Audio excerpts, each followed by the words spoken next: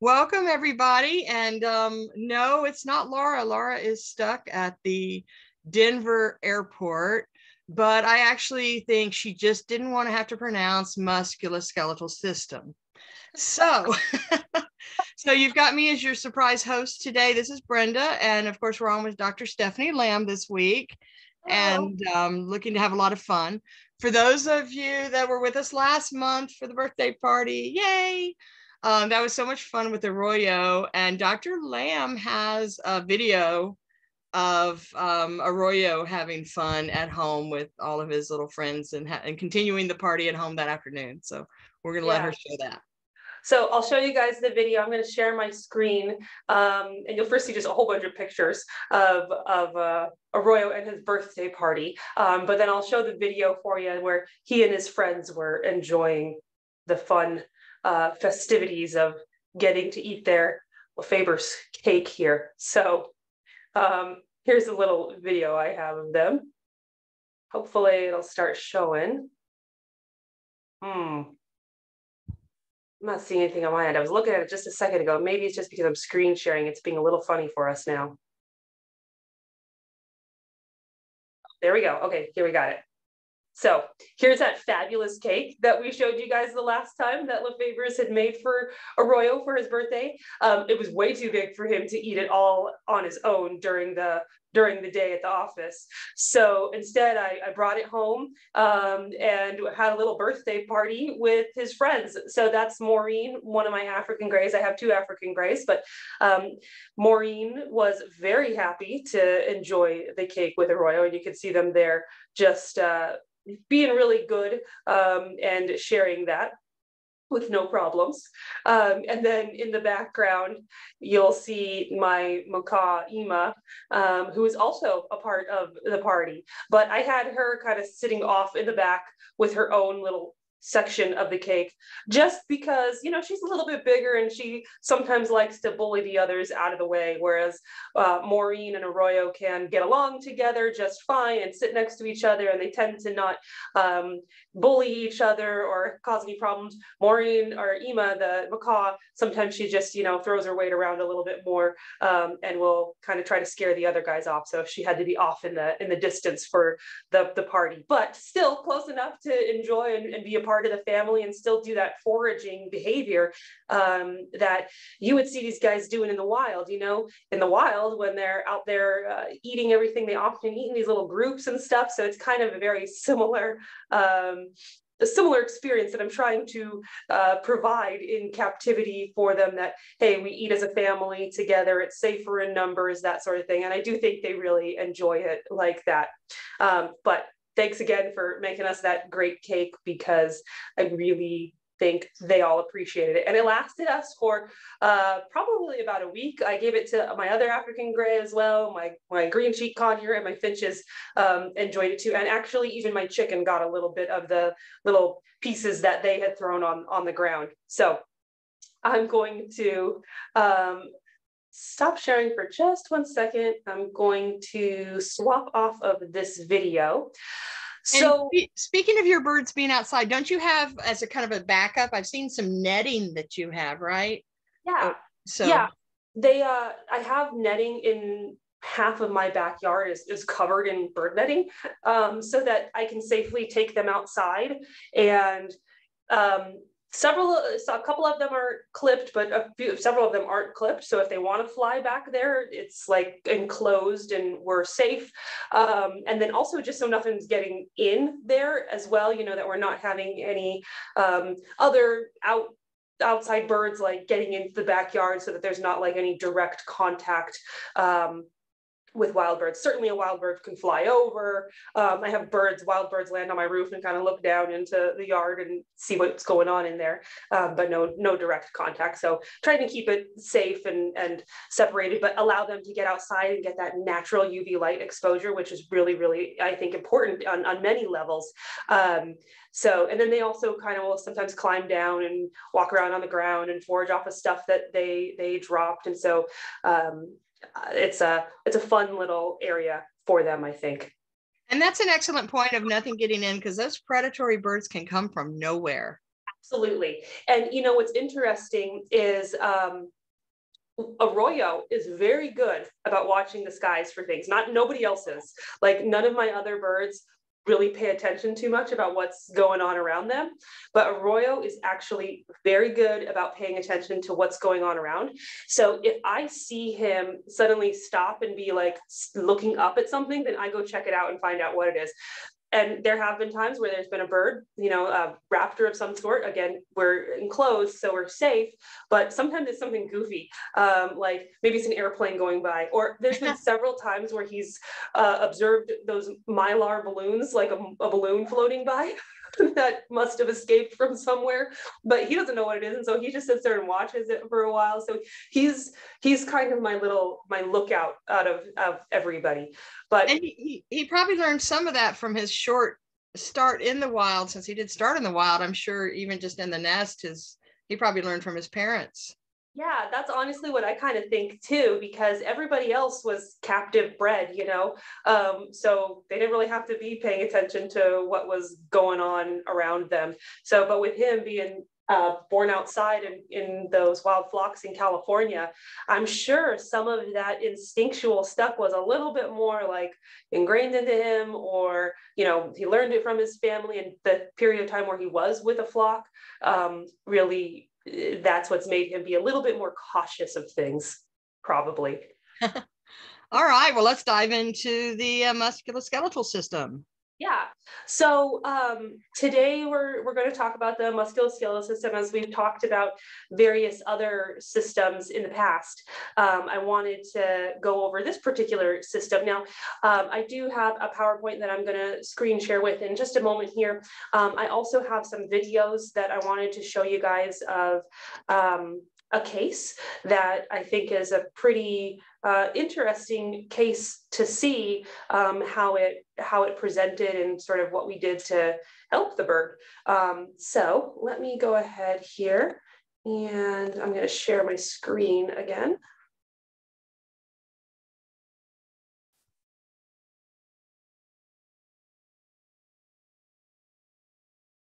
And start from the beginning. Okay, so as we have done with all of our other sort of system talks where we you know talked about the liver and we talked about uh, the cardiovascular system the musculoskeletal system is also a system. And as I've done with all the other ones, I like to talk about anatomy and physiology first, because we always have to understand how things work initially um, in order to understand how things go wrong and what we can do to get things back on track. Um, so this is a, a, picture that I grabbed of just a sort of generic skeleton of a bird that gives us just kind of the basic anatomy of the, the major bones. Now, there's definitely a lot more depth that we could get into. Like if we took one of these individual bones, let's say that we um, took the femur bone here, there's lots of individual little like portions to that bone. Like there's the femoral neck, the femoral head, there's what's called the trochlea and the condyle. So there's lots of individual anatomical parts to a single bone, but that's like really way involved. And i don't want to get into that because that is something that just is very nuanced. Um, so this picture here is just sort of showing us the more general here's what the major bones look like um, articulated and all put together on a skeleton of a bird. Um, so what you can see is they've got, you know, their skull. Um, and then we have all these cervical vertebrae. They actually have a fusion of thoracic vertebrae. So whereas a lot of other mammal animals like mammals, you have individual little vertebral bones that basically make the, the spine. Um, birds actually have a lot of fusion of bones. So up in the thoracic region, they have a fusion of bones to make what's called the notarium. And then in the like back part, the lumbar region and the sacral region, they have what's called the synsacrum. And it's all these bones that are fused together. And that those fusion of those bones in that spine help create stability for that spine. Um, and then branching off of the spine, we have our, our uh, appendicular skeleton. So we have the humerus and the radius and ulna, which this is very much like a skeleton of another animal, um, of a mammal or, you know, a reptile um, that has limbs, not a snake. Uh, so they, there's very similar bones that are conserved across the, the animal kingdom. Now, interestingly, when we look at birds, as we get beyond the radius and ulna, when we go down into the carpus or like the wrist, they have a lot fewer uh, phalanges than um, other animals do. And so we only have a few, we actually only have three little phalange digits, and they're kind of just these minor little tiny things. Um, and then when we look at the the chest area, they actually have this big, unique structure called the keel bone. And that keel bone um, is what the muscles attach to from for powering flight. So some birds who are not really well known for flying, have a much smaller keel bone versus those birds that are really well adapted to flying. They have kind of a larger, more robust looking keel bone. Um, but that keel bone, it's this big giant thing that a lot of times when you go to the veterinarian, when the veterinarian's feeling over the muscle mass over the breast, because the breast muscle mass kind of just overlies this area right here, what we're feeling is we're kind of trying to feel for that keel bone. And we should be able to feel it to some extent, but not excessively, because if I can feel the keel bone easier than normal, that means that bird is underweight. Um, but if I can't feel that keel bone, or barely feel the keel bone, that means that bird is overweight. Uh, birds will put sort of fat over that area when they are uh, on the heavy side, but then when they are skinny and they are having to utilize body stores of energy, they will actually utilize their own muscle mass and they'll shrink that pectoral muscle mass down. And so they can be kind of a little underweight. Now, that pectoral muscle mass can also shrink down um, associated with lack of flying. And that's something that I commonly see in gray, African grays that are older than like their typically like in sometime in their 20s or maybe in their 30s that haven't been doing any flying. If you don't fly and you're not using the muscles that power flight, then you atrophy those muscles over time. So that uh, saying, if you don't use it, you lose it, uh, definitely applies to birds as well. And so we will have loss of muscle mass over that keel area if they're not doing a lot of flapping flight um, as as they age. And it's just for some reason i see it more in african grays than i see it in other species. It absolutely happens in like all different species of birds. I just happen to see it the most in in the african grays. Um so that bone is kind of unique to birds and, and interesting.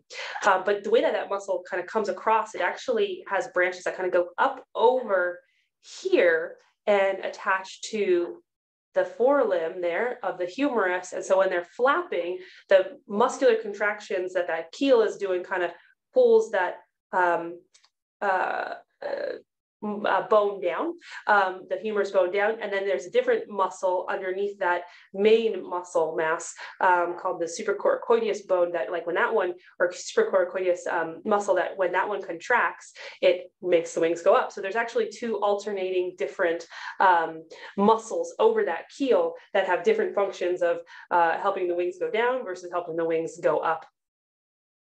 Um, as we go further along down the body here, they have their femur, which again, very similar to lots of other animals. And then they marked it on this particular anatomical outline as the tibia, but it's really called the tibiotarsus because it's actually a fusion of multiple bones. So that's one of the interesting and unique things about birds is that their skeletal system is, is actually a fusion of a lot of different bones that in mammals may be more unique as individual bones, but birds have kind of fused together. And, and that's all an evolutionary uh, thing that's developed to make them more streamlined and appropriate for flight. Um, this, this foot here uh, is representative of what we see with parrots. Um, it is the what's called zygodactyl foot, um, meaning that there's two toes, two toes pointing forward and two toes pointing back. There is quite a, bit of variety of anatomy with birds um, amongst the different groups of what kind of like toe pattern and arrangement they have. But for parrots, since that's who we're mostly talking about today, is um, a zygodactyl foot. Um, and then you can see their cute little tail. They have just this teeny tiny little tail, you know, just a few little coccygeal vertebrae. And then they have this bone called a pygostyle. Um, and that's kind of where those feathers for the tail are branching off of is the pygostyle. Okay, so that's the anatomy. Here's a couple of other anatomy pictures, but this is trying to represent the physiology because we're talking about the musculoskeletal system. So there's the skeletal system, but then the muscles attached to that skeletal system. And it's really the muscles and the skeletal system working together that allows for body movements. And in fact, there's more than that. The nervous system has to be involved as well, of course, and we have to pump blood to those muscles. So the cardiovascular system's in, uh, involved as well. So of course, there's much more complexity to this system. But um, for the, the basic understanding, the muscles attached to those bones and those muscles contract to allow for movements. And this picture, the reason I like it, because this is just a picture of the hind limb, but it's showing all the different muscles in their layers. So like this first picture kind of shows a lot of the muscles, but then we take that first couple of layers off and we see that there's more muscles underneath and we take more layers off and see that there's even more muscles and you can take more and more and more layers off and find out just how many muscles there are that are involved. There's not just a single muscle that allows for you know contraction and movement.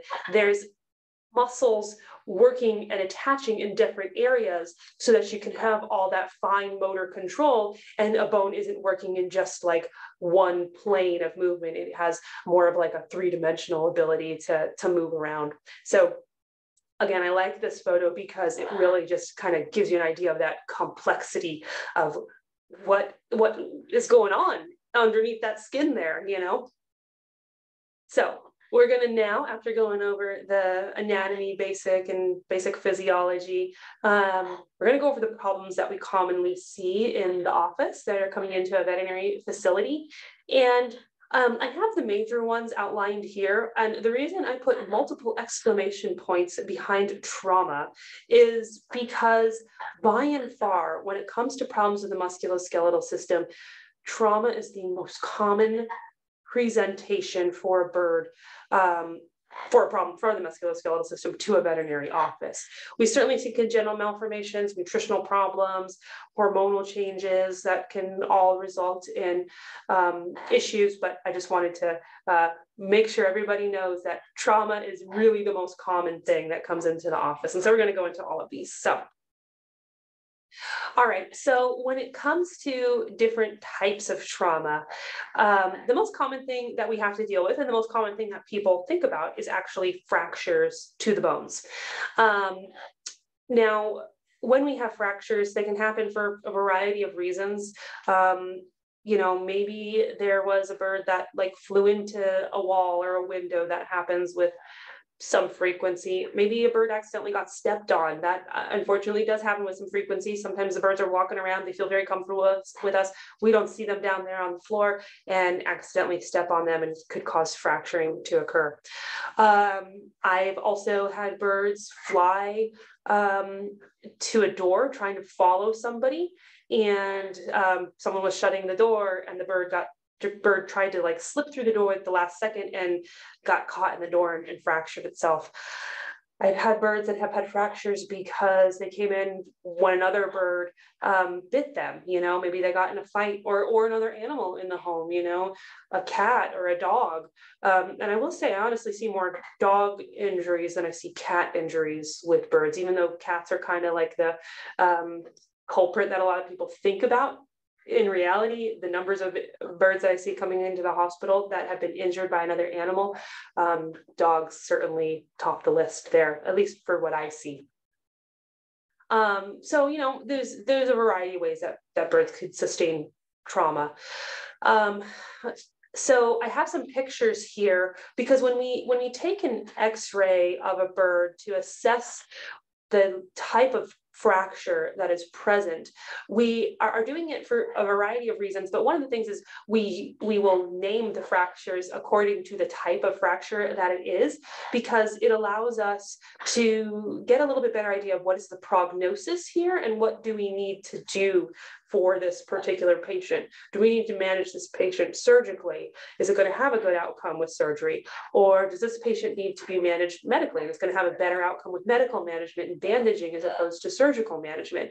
Having x-rays to help guide us and look at those actual fractures to know which one of those options is better, medical versus surgical, is, is really necessary. Um, so this picture up at the top is what's called a segmental fracture. And the reason we call it a segmental fracture is because you can see this bone, this is the humerus. Uh, it's nice and normal over here, but over here it's broken into three different segments. Um, so that is called a segmental fracture where you have like very large pieces broken into very obvious, like here's segment one, segment two, segment three.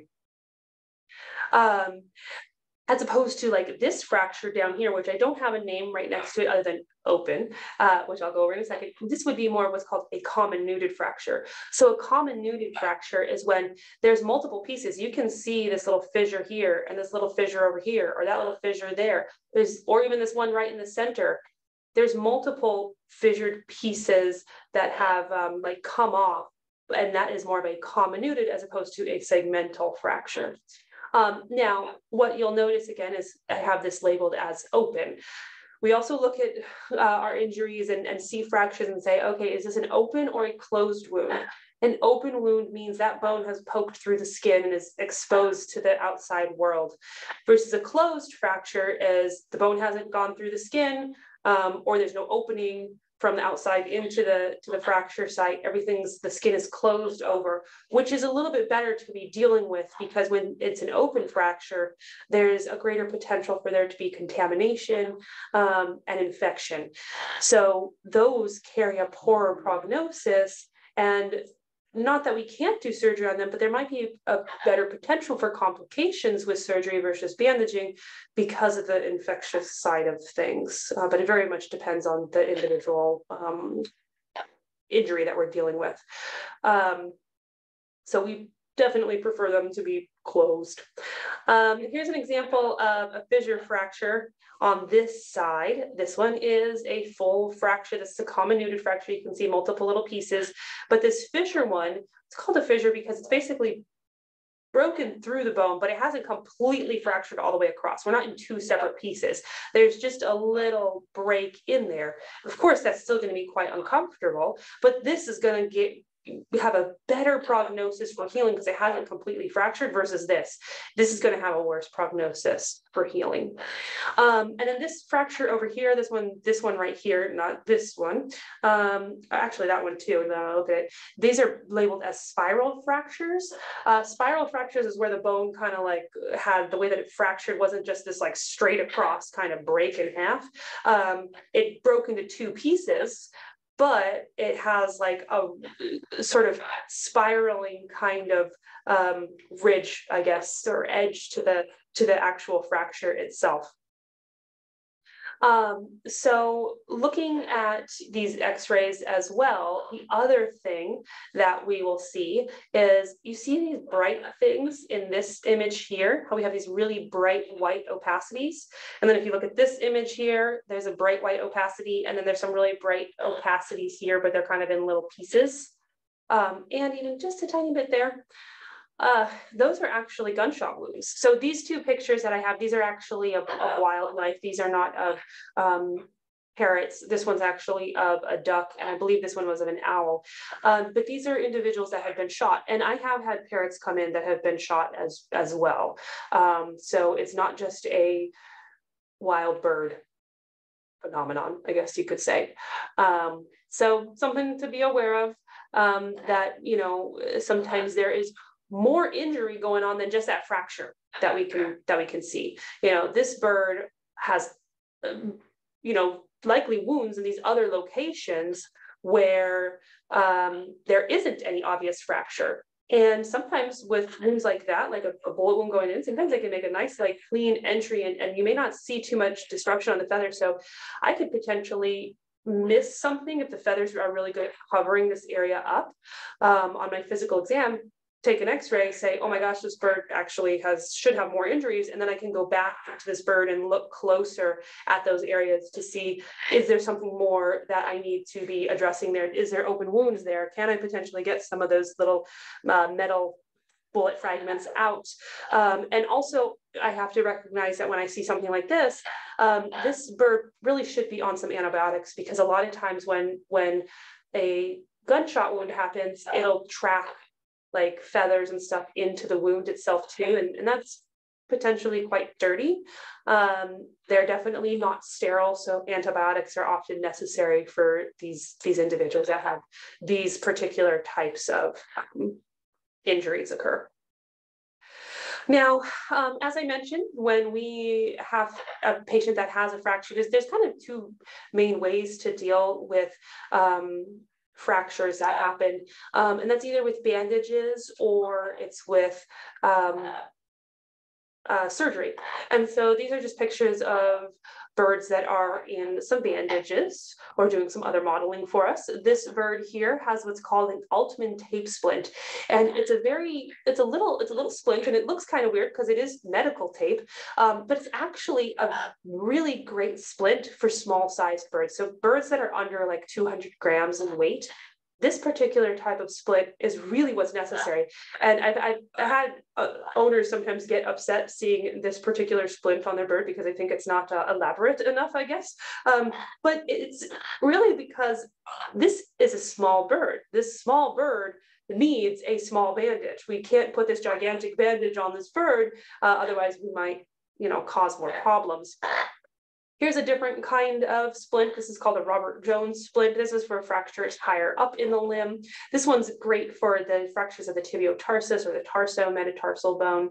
Uh, this little budgie over here is showing us a little bandage that she has. It's called an interdigital bandage that is covering the foot. So this can be great for uh, injuries that are lower down on the digits. Um, I'll also use these for if there was um, bumblefoot if I have a bird that has um, a bumblefoot lesion, which means inflammation of the foot bottom. And those bumblefoot lesions sometimes go deeper and affect the muscles. And if they're really advanced, the, the most advanced stages, they will affect the skeletal system as well.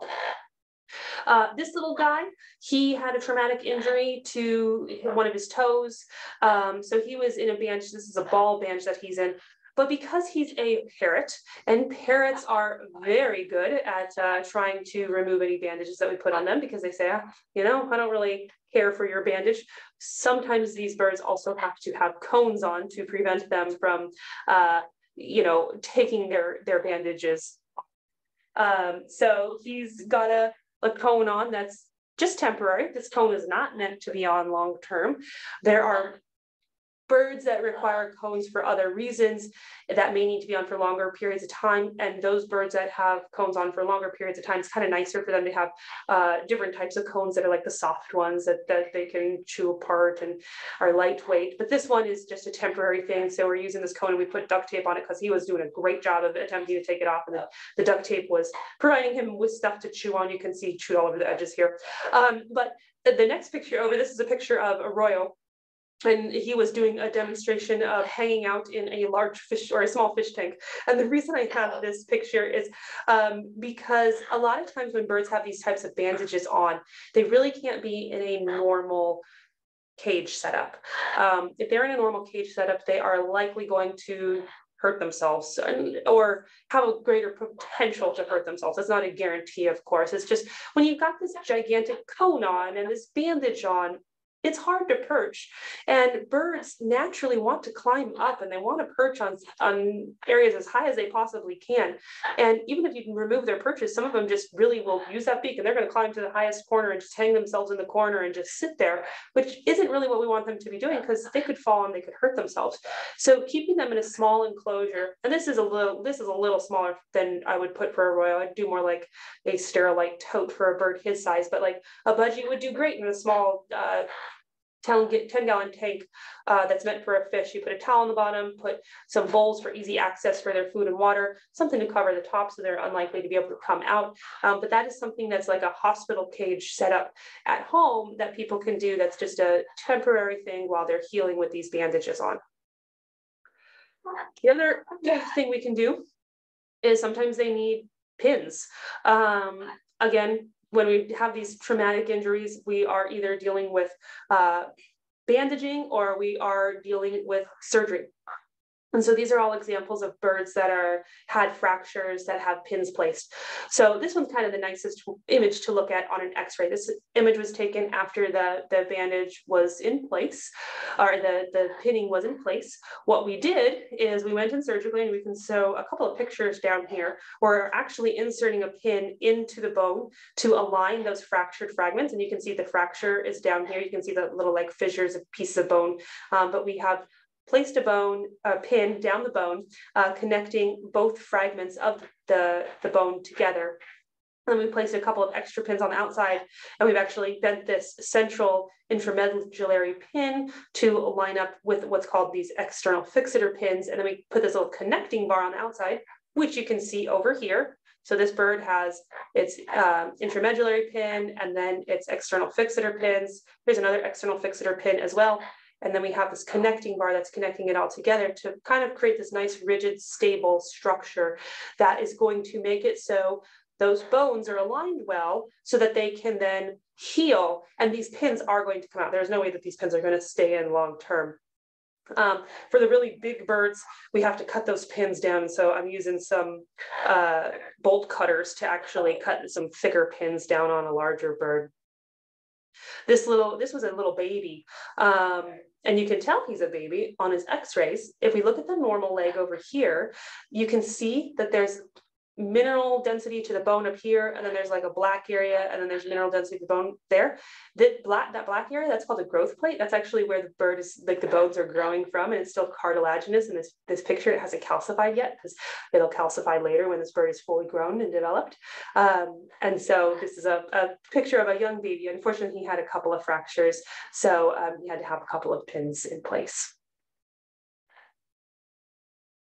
Um, and then just a few more pictures. This is a African gray patient that I had several years ago. Her name was Bella. She's a very cute little girl. Um, and here is a picture of her tibiotarsus that has fractured. You can see the normal bone over here, nice normal cortex to the bone, all aligned as a single thing. But over here, we actually have a fracture of that tibiotarsus bone. Now the bone has tried to heal itself because all this sort of like fuzzy edge that you can see is the bone trying to come together to, to heal itself. Um, but you can still see that there's these black lines essentially between the bones um, up here and down here that are making it so that bone actually isn't attached. It's trying. That bone was trying really hard to come back together, uh, but it just wasn't working. And, and, she was originally in a, a little um, a tape splint, but just wasn't doing it for her. So we did have to take her to surgery, um, and we had did the same thing that we did in those other images, where we placed an intramedullary pin down the center, and then we had an external fixator pin. She actually had one up here too. You can see the little circle where that pin was placed, but this picture was taken like after she was healing well. The fracture site is down here. Um, it's hard to see it a little bit in this image because this uh, connecting bar was kind of covering it up a little bit, but things were healing. So we're starting to take down those pins. Um, and this is her connecting bar that you can sort of see on the outside. It really covers up those pins well, so you can't see the pins easily in this image. Uh, this is the tibiotarsus bone. That's the one that was fractured. Um, and she just had a little cone on because, again, she's a parrot. I have had parrots take their own pins out. So if a parrot has pins in, it really needs to have a cone on, unless it's a really tiny, tiny bird. But um, anything the African gray size and bigger absolutely needs to have something to make it so that it doesn't um, undo our, our surgical attempts earlier than need to be undone. But you can see that um, she's standing and bearing weight on the on that limb there um, with the the connecting bar sort of visible still here in that image. So she did well. She healed, um, which was which was wonderful. Uh, that's always our goal.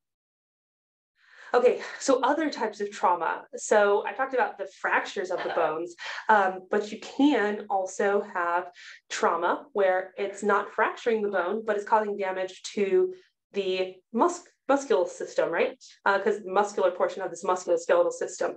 Um, and you can have damage to the muscles, but you can also, because the muscles are kind of attached to uh, tendons kind of at the ends of connecting the muscle to the bone.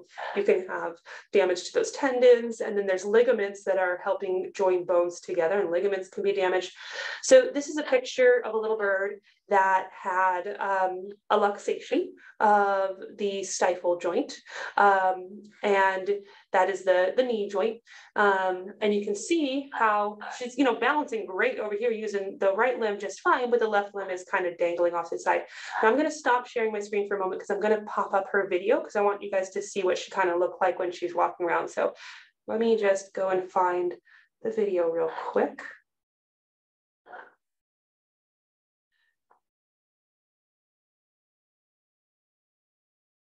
Okay, now I'm gonna come back to sharing my screen. Okay, so hopefully you guys should be seeing that okay. And there she is, she's just in her little incubator here at the office and you can see how she's holding that limb out to the side. Um, we'll watch it again for a moment there, like initially you can't even see anything's wrong because that leg's kind of hiding underneath her tail, but then as she moves around, see how she has to use her beak as well to like help herself move. She's using her beak as another hand, uh, but you can see that limb is really rotated off the side. So um, I'm gonna stop sharing again for just a second and let me go to the images with her. And we'll share again Oops, from current slide. There we go. Okay, so we had x-rays taken of her and you can see if you look at the x-ray here that's actually where the injury is. So here's the femur bone and here's the tibiotarsus bone. And you can see they're not lining up on top of one another like they should. In fact, the tibiotarsus bone is off to the side and even displaced a little up from what it should be. Compare it to this side, which is normal. This is the normal joint of the stifle. Um, and then you can see it in this image over here too. The tibiotarsus bone is kind of shifted forward from what it should be. So what we did with her is we took her to surgery and um, we were able to reduce that. Well, we opened the joint up um, and the tendon or the ligament there um, was actually damaged. Um, and we realigned, we did a surgery where we actually, uh, we realigned the, the joint to be normal, the way it's supposed to be between the femur and the tibiotarsus. And we, we put um, uh, certain suture patterning in there that helps to keep it in place. And um, oh, uh, this x-ray here is her post-operative x-ray um, after she had healed. So this was actually uh, beyond post-operative x-ray. This was like after like three weeks. Uh, but you can see now we have that bone in appropriate alignment between the femur and the tibiotarsus. I'm going to show you her uh, video afterwards. So I'm going to stop sharing again for a second. Let me get that other video up. And um,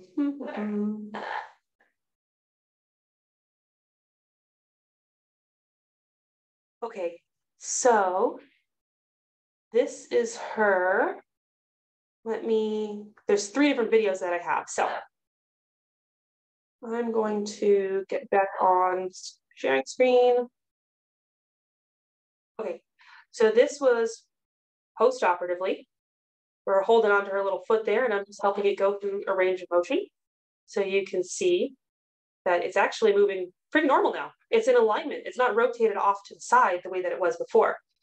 And then here she is in a cage.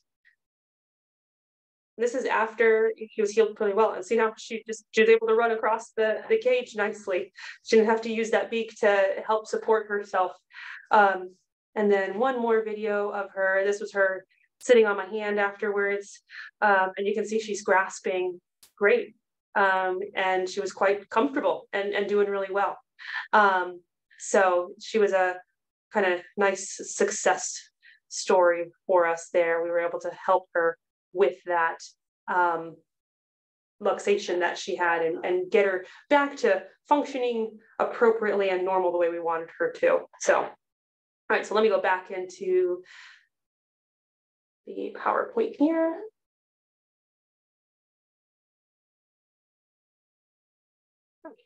Um, okay, next thing, uh, other trauma that we will see is just like muscle sprains or strains. Strains, the same way that you can get a muscle sprain or a strain in a person. I mean, that happens with birds too, you know. Um, so it, when that happens, sometimes birds do need to have certain wraps. This bird just had a little wrap on. She was a little uncomfortable, so she was kind of laying down in, in this image here.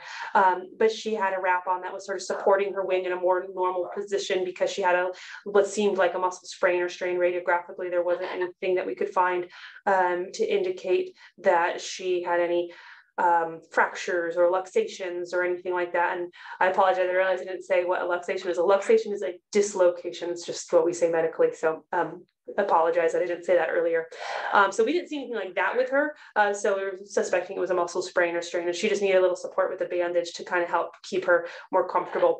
And then this picture here, this is a different bird. Um, it's a little cockatiel. And what it's showing is we're actually doing laser therapy um, to help it with some issues that it was having. Uh, laser therapy is something that can be really helpful and really nice to enhance the healing process. Um, it helps when we use that laser, uh, when we point it over an area of interest. It improves blood flow to the site, it improves cell turnover, um, and that helps with you know uh, essentially speeding that healing process it works at a cellular level as well to increase energy production um, so whenever we have any of these types of injuries laser therapy can be a component of the supportive care that we do to help these animals feel a lot better and feel uh, feel less pain Okay, uh, congenital malformation. So now that we went over trauma, which again was like the most common problem that we see associated with musculoskeletal system for birds coming into the office. Other things that we see is congenital malformations. Now, this little, uh, this is a baby peach face lovebird, so he looks kind of fuzzy with his feathers, and that's because he is a baby. He just has new downy stuff coming out. He doesn't have all his feathers on his head, so he looks kind of goofy. Um, but you'll notice that he's got something weird that he is sitting on. And what that actually is, is he was a baby that had splay leg. So sometimes when these young birds are developing, we don't always know exactly what happens, but sometimes their legs will be kind of splayed off in a weird fashion. Now, sometimes that has to do with um, the substrate that they were on as a baby, like maybe they were on like a slippery, slippery surface and couldn't get their feet tucked underneath them. Um, and since these birds are young and developing their bones aren't well calcified, if they're kind of splaying them out in weird ways because they weren't able to hold them underneath themselves appropriately, then they may start to calcify and like kind of you develop abnormal, ab, abnormally. Um, but it can also happen for other reasons. Sometimes the substrate that they're on is totally fine. There's no problems with it, um, but they can have these congenital splay leg problems. And so there's potentially issues with the egg, you know, like while they're developing in the egg, maybe there was some problems with um, the way that that egg was uh, handled or humidity or you know something like that or it could be a genetic thing you know maybe the maybe the parents um, have something genetically that allowed for this to happen. A lot of times it's honestly hard for us to say but when they have splay leg what we try to do is we try to retrain those legs to go back into normal position.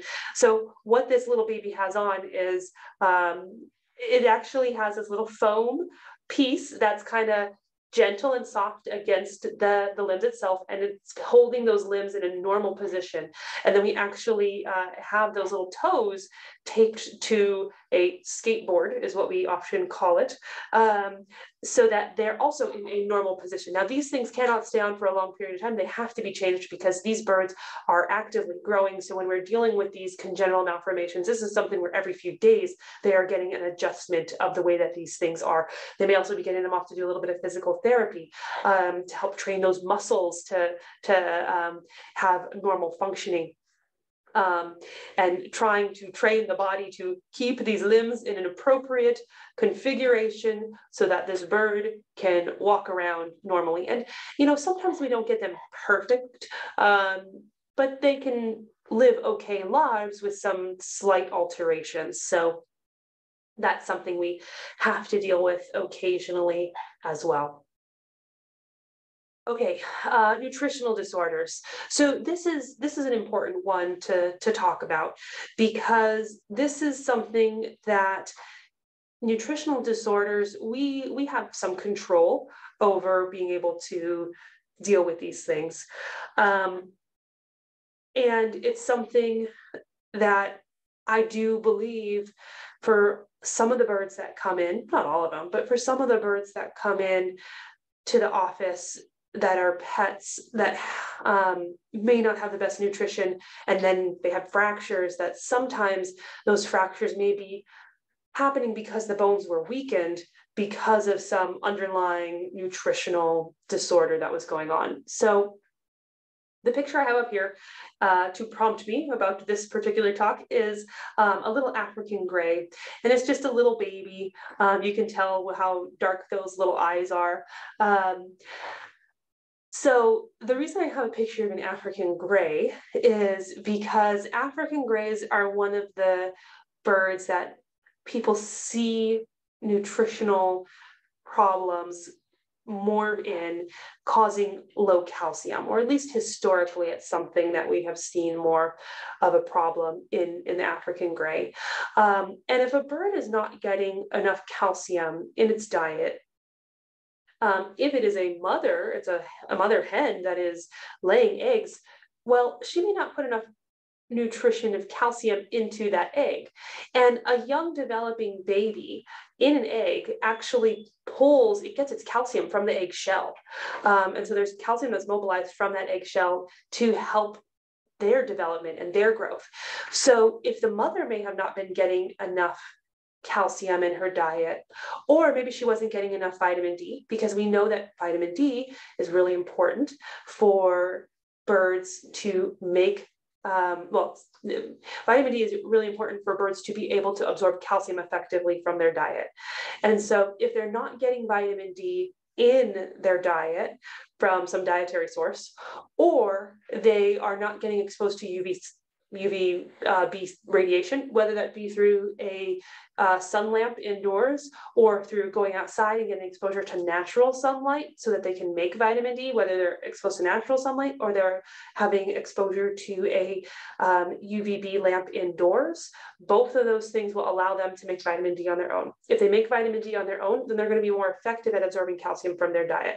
When they absorb calcium effectively, it's important for various functions the skeletal system. It's important for um, the muscle system because muscles contract and they need calcium to contract appropriately. Um, it's important for the nervous system as well. If you don't have enough calcium, calcium is important in the nervous system for certain like nerve signaling essentially between nerves. Um, and so, or amongst the nerve. Um, so if you don't have calcium, then skeletal system, muscle system, nervous system may not function well.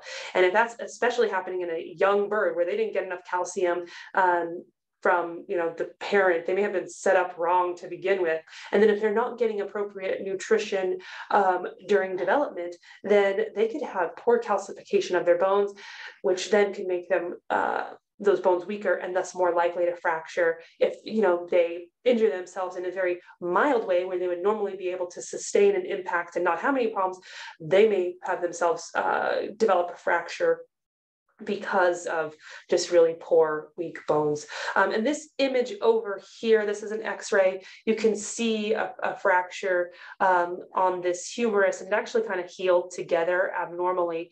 Um, but this was a bird that had historically had um, a poor diet um, and you actually can see, see this bright thing here? That's actually one of those uh, extramedullary pins that was present in a uh, fracture of the femur, so the bone lower down was fractured, and we were dealing with that. But this X-ray revealed to us that this bird had already previously had a fracture, and this bone doesn't look healthy. Like it doesn't look nice and smooth with the cortices. It looks very irregular. Um, so this bird had presented because it had not its first fracture, but at least its second fracture. This one was old, and we don't even know exactly when that fracture happened.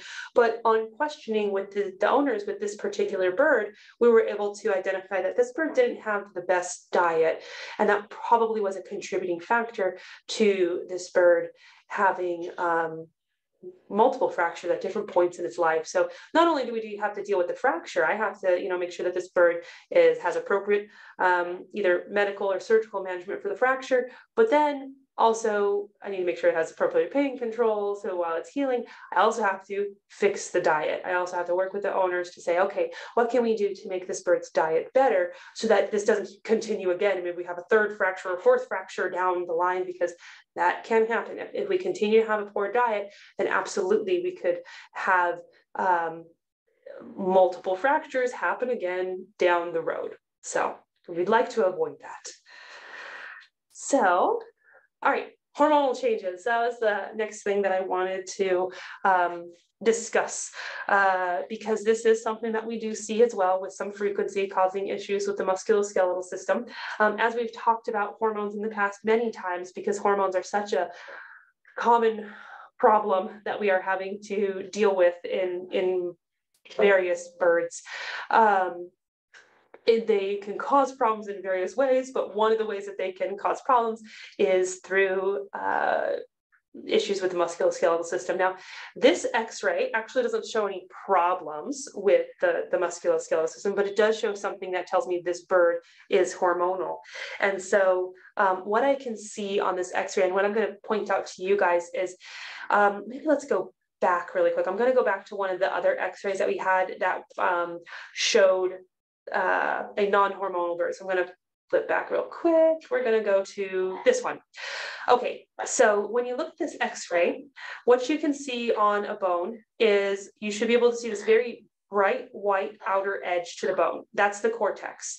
And then this darker center to the bone. That's the medulla um, or medullary cavity, however you like to say it. And if you notice, if you look at this bird, we've got that kind of pretty consistently amongst all these different bones here. It, it's There's muscle mass that's kind of overlying it. Sometimes makes it a little less um, dark down the center in that medullary cavity. And this particular bone is called, uh, well, the humerus is a pneumatic bone. So it actually has like an air sac that goes down into it. Whereas this bone here, the ulna and then the radius, those are not pneumatic bones. So they actually don't have air sacs going down in them. So they look a little darker, but you can still see the difference between this outer bright edge is the cortex and the like darker center is the medullary cavity. You can see the difference between there. Now keep that in mind. If we're gonna go back to that x-ray of the hormonal bird. Notice how on this ulna here, you don't really notice a difference between the cortex and the medullary space. Like there's some there's some dark little spots in the medullary space, but you also have these really bright white spots in that medullary space, all the way down to the end. You can't see the cortex as as crisply defined. Now in this bone you can, again, that's the humerus and it has that air sac going down it. You can see the difference between the cortex and the medull medullary cavity. But look at this femur here. This femur, like I can't tell the difference between the cortex and the medullary cavity. It's very hard. It's just like all whited out. Same thing down here with the tibiotarsal bone. Again, all like whited out, other than maybe up at the top a little bit, you can see a little bit of that medullary cavity, but not much. Um, th that really bright white center that makes it so you can't see a contrasting difference between the cortex and the medullary cavity. That is because estrogen is stimulating um, breakdown of that uh, of the um, what's called osteoblasts, which are the bone cells that are present in the bone um, and allowing them to release calcium. So this bird is actually releasing more calcium into circulation. It's getting it into the medullary cavity. The medullary cavity is directly connected with the vascular system. So it's getting more blood uh, that has high calcium into the vascular system. Um, and they're getting their calcium levels higher so that they can send calcium to the reproductive tract so that they can do all the normal reproductive functioning and cycling that is, is occurring. Um, you know that calcium is important for um, various points in that that reproductive physiology. You know making the shell of the egg is the very obvious one that everybody knows about but it's also important for normal uterine contractions and other things going on as well. And so the, the body is pulling a lot of calcium stores to send to the reproductive tract when they are hormonal. So this is a normal physiological thing to happen. And when i see this on an x-ray i go aha this bird is hormonal. Um, now it could potentially be indicative of problem and, and, and in two ways. One is um, if you have a bird that's just constantly, constantly hormonal and it's constantly pulling calcium from its own bony stores, then what we worry about is they're going to start depleting their calcium. They're going to make their bones more brittle. They are going to be more likely to fracture. So it goes back to the same thing as the nutritional causes. Uh, when we have low calcium levels, same exact thing is going to start happening here. If they keep laying eggs and keep using all their calcium sources, those bones are going to be weaker and have a greater potential to fracture. The other thing um, that when I look at this on an x-ray that can indicate that there's a problem is if I see this in a male, Male birds really shouldn't have any major estrogen. And if I see this, that tells me that there is estrogen circulating and causing breakdown of the, the osteoblasts. Um, and that will happen in certain tumors that male birds can get of the testicles. Um, and so we'll see that with uh, what's called seminomas and Sertoli cell tumors. So two very specific tumor types that can happen in, in male birds will secrete estrogen. Estrogen then causes breakdown of the bones. And I can see that on an x-ray. If I see that, if I see this on an x-ray in a male bird, I'm pretty concerned that I've got something quite a bit more serious going on that we need to be uh, managing for them. So, um, so yeah, that's that. Those are the things that I think about when I see those particular changes on an X-ray. All right, that was actually the last um, that I had for the last picture that I had for my slideshow there. Um, so at this point now, um, I know we're pretty close to the the end here. I know I didn't really leave much time at all looking at looking at a clock here. I didn't really leave it, much time. It looks like we we just have a couple of questions, so maybe we can okay. get. Um, Leslie was asking how much pain do the birds experience during the post-surgery recovery from fractures and what do you do to address their discomfort? Yeah, so absolutely, we for sure give them pain medications because we have to imagine that these these have to be uncomfortable, um, and you know it's something that it's it has putting a level of how much pain do they actually feel is hard for me to do because birds are really stoic about showing signs of discomfort. But one has to imagine that if they had their own bone fractured, they would absolutely want some pain meds. So we, we know we have to do it for them too. And they may show more subtle signs like they may not eat well, or they may just be really quiet or not vocalizing. Um, those are the things that may be indications for pain in them, which seem really subtle and like not like it's, you know, they're not screaming out or anything like that. I have to say most of the time birds are not screaming out out in pain. They're often usually more quiet. Um, so for those birds, we are usually doing things like non-steroidal anti-inflammatories like meloxicam. We're doing opiates like um, buprenorphine or uh, uh, or um, sometimes tramadol. We're doing things like gabapentin. We're doing laser therapy because that helps with pain. Um, so there, there's multimodal pain management that we do for these guys, and it kind of depends on the individual bird. Okay, and then uh, Nan was asking if you could advise on the best type of UV light to get. Yeah, um, so you know, there's a variety of UV lights out on the market, and honestly, they're kind of more marketed towards the reptiles. Um, so there is the, the bird uh, one that's called the Avisun, but it's honestly the same thing as the Reptisun um, 5.0. When you when you're looking at a UV light, um, no matter kind of what the brand is, what you want to do is you want to look on the labeling of that packaging or the little package insert, there should be a little graph that's in there or on the box in some way. And there's a, that graph, it'll show numbers at the bottom that are in nanometers. And there's going to be like a little peak that happens. And you should be seeing a peak at the 280 to 320 nanometer range. But the whole graph is going to run from like 200 to like 600 nanometers. And so you need a little peak in that 280 to 320 nanometer range to say that that one is appropriately emitting UVB radiation. Okay, well, with that, we actually are out of time now. Um, we're going to do our, our giveaway real quick, and that is going to be in a con, uh, continuing to celebrate our 50th anniversary for our pellets, um, a bag of pellets and another bag of Lafeber product of choice, and that's going to Gloria Schreck. Um, so um, Gloria will contact you next week about your prizes. And thank you, Dr. Lamb, so much. Um, next week, we've got Lisa Bono, and I believe she's talking about visit to the avian, uh, how, how to prepare your bird for going to the vet. So that should be interesting and certainly something that's going to help out um, your veterinarian, right? Absolutely.